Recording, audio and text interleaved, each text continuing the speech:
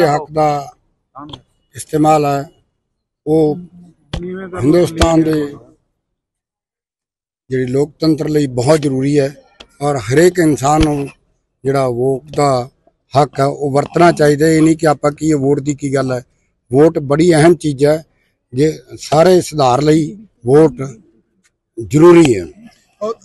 ਲੰਮਾ ਸਮਾਂ ਪ੍ਰਚਾਰ ਕੀਤਾ, ਅੱਜ ਜਿਹੜਾ ਹੈਗਾ ਫਾਈਨਲ ਅੱਜ ਅਸੀਂ ਕਹਿ ਸਕਦੇ ਆ ਤਾਂ। ਕਿਵੇਂ ਲੱਗਦਾ ਹੈਗਾ ਮਾਹੌਲ ਔਰ ਕੀ ਜਿਹੜਾ ਹੈਗਾ ਸੁਨੇਹਾ ਲੋਕਾਂ ਨੂੰ ਵੋਟ ਪਾਉਣ ਬਹੁਤ ਵਧੀਆ ਰੁਝਾਨ ਹੈ ਜੀ, ਬਹੁਤ ਵਧੀਆ ਪਿਆਰ ਮਿਲਿਆ ਲੋਕਾਂ ਤੋਂ।